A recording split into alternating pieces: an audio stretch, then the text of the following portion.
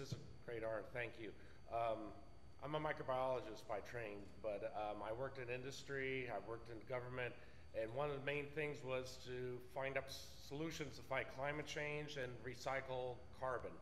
I had to meet the right person, and that right person is Dr. Ken Anderson with Thermaquatica. And with that, a new game-changing technology, we're able to do that. We have a real chance to uh, reverse the effects of climate change and uh, change the ways we do things in the world. So this is a, a new world for us, and hopefully this is just the beginning. And uh.